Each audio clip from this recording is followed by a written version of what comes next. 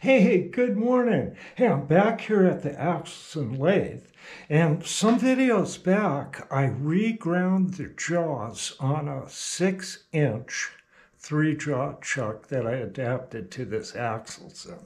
So let's have a look at it, and I'll talk a little bit more about this chuck.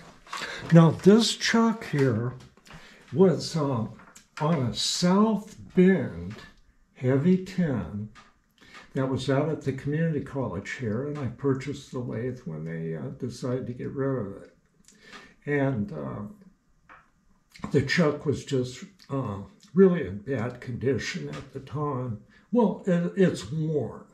So I went through the chuck and uh, tightened everything up. Uh, I talked about in earlier videos how the pinions push the scroll into the front half and cause the uh, the scroll itself to cock. And then it starts wearing excessively on the pivot. So this chuck here I re-sleeved the pivot and it splits down the middle here of the pinions and uh, I machined it. A, I machined the inside where it was worn, and then I machined probably the front a little bit off the rear, just a few thousandths to tighten up the scroll.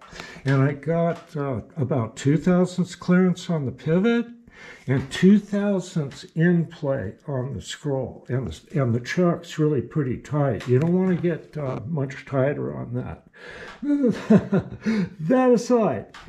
I, this chuck here um, is a rear mount chuck, a standard rear mount chuck. And I took and I drilled it through from the front to make it a front mount chuck. And I also, like I say, this is just a standard Cushman. It's a Cushman that was on a, about a 1960 South Bend. And I believe it was original to the machine. It could have been anyway. And also, this, this thing had about a one inch hole.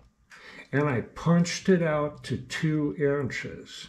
And I don't know if you can see in there, but there was some internal screws there that hold this thing together, and I eliminated them. Uh, and I figured I could get away with it because I have six uh, big, uh, bigger, well, they're 5 sixteenths bolts holding the thing together and keeping it in mind. I, I use it for uh, light duty work, of course.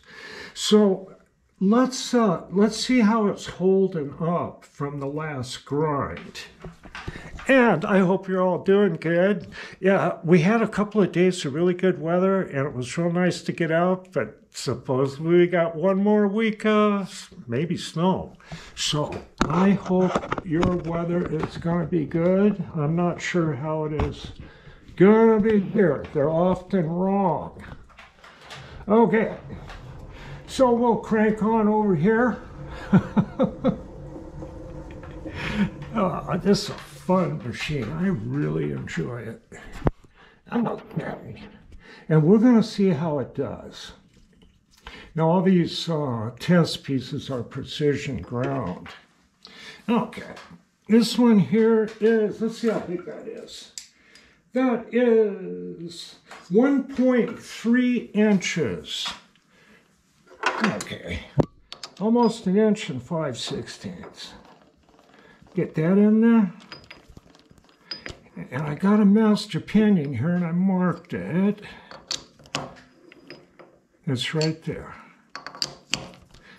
This is the one that I use to uh, remove the least amount of material. Now, I'm taking and I'm kind of actually burnishing the jaws just a little bit doing this. I got a little bit of tension on this piece and I'm rolling it towards the back. Okay, then I'm going to tighten it enough to machine it. Okie dokie. And we'll bring over this old indicator setup here. I, I usually use an Interapid on a flex bore, but I think this is easier to read. This is a uh, federal indicator, actually a dual reading. Metric and um, English. Okay, let's see how that is. I think you can see that. I hope there's not glare. Let's see how much uh, run out there is. Looks to me about one half thousandths. Okay. All right, let's get that out of there. It might be best to open the chuck on other than the master pinion to try to uh, even out that wear. I try to do that, but I don't always. Okay, we're going to go to the next size smaller. That is, I think it's, uh, yeah, 7 eighths. This is uh, a, a precision ground counter shaft out of a transmission. But I don't know uh, uh, just what it went into, uh, but it's new and unused. Okay, now I'm going to do the same thing. I'm rotating it. Look, but I'm not on the right pinion. Let me get over there.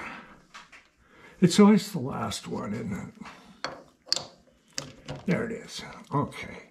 Now I'm going to kind of burnish that in there a little bit. Rotate it. Get that out of the way. Rotate a little bit. See, that kind of takes up that slack in the jaws. There we go. Tighten it enough to machine it. All right. Get that indicator back on there. We'll see where we're at. Okay. Hope you can see that. I don't think there's much glare. I'm trying to look through the, the camera. Okay, got it on zero. Let's see what we get. Just about one thousandths here. No, it's a half thousandths. Okay, we're doing half, thou half thousandths here. Okay, we'll take that out. And I've been using this chuck. I've been making parts with it. It's really handy to have this chuck for smaller stuff, especially if you're getting your hands close to the jaws. Like the 8 inch there, those jaws are choppers. This here is, uh, these one piece jaws are not, don't protrude as four. Okay, we'll set that down and we'll take one of uh, Rob's uh, 3 8 ejector pins, which are a factory made thing and expensive. Okay. Went over and saw Rob today, and he's uh, doing good. I'm going to go over Monday. And uh, he bought a really cool little milling machine. Uh, he found a Rockwell uh, that's just in excellent condition, and maybe he'll let me show it to you. He's got a few more things to sell, and uh, I'm going to help him um, as best I can with that plastic mold equipment and support equipment. So I'll shoot a video of that and uh, put it on the channel here and uh, so it can be referenced to from like Craigslist and other things. So you can, you know, you can put an ad on Craigslist and go, uh, yeah, email me for a video. Contact me for a video. You can't put a link on Craigslist. All right, what do we got here? Oh, one thousandth. Why, that's just terrible. No, one thousandths is real good. it's great. I start getting kind of not happy uh, when they start getting close to 3,000. So I'm going to try it again. I'm going to burnish it a little bit.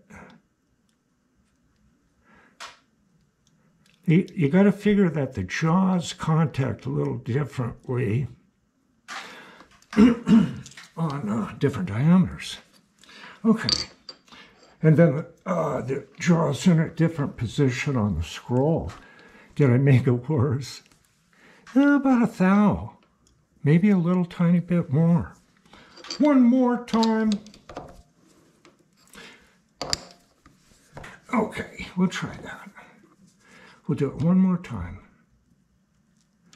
Oh, gotta feel it. It feels real good. There we go. You can kind of feel it get bumpy. And you'll want to keep turning it so it doesn't feel bumpy. You find a good spot to land on.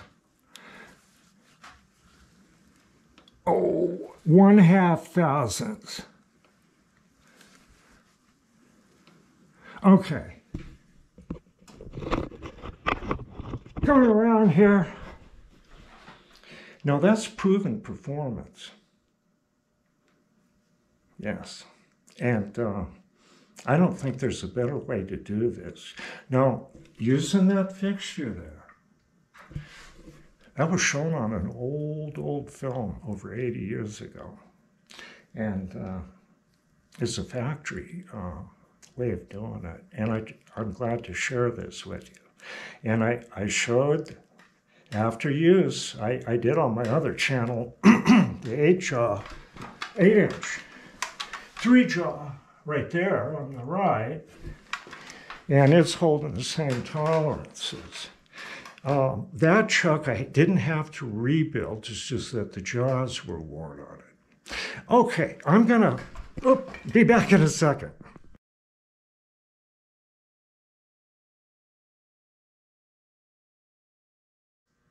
That's right, folks.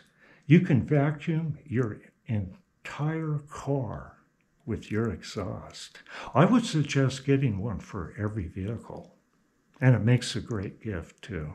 Okay, now back here, if I can get around, is an old time Nikon F camera made in the late 1960s.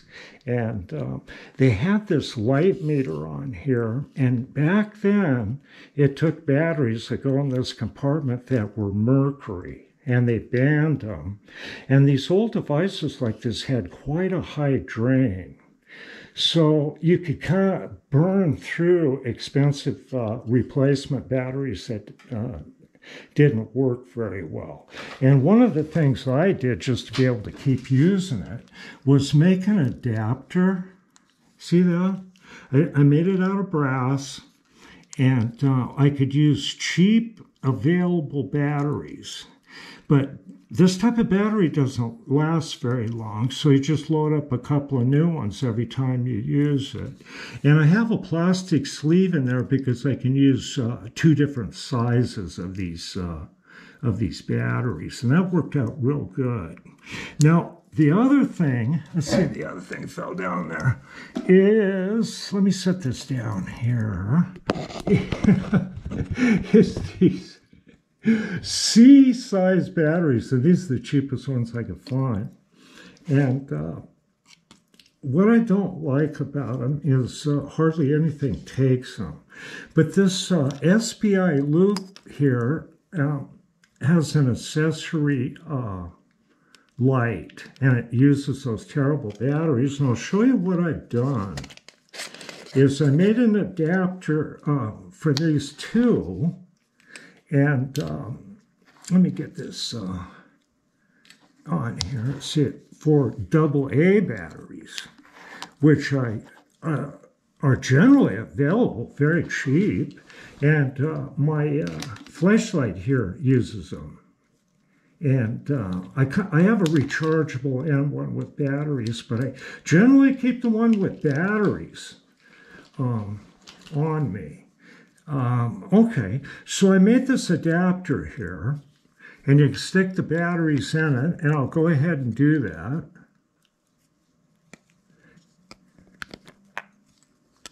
And I'll slip it in there.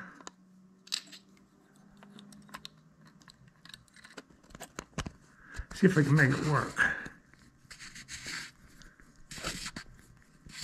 You can wrap batteries in cardboard too.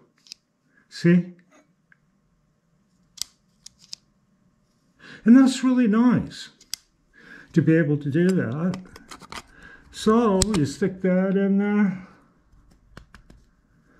and you can look look at things. Yeah, see?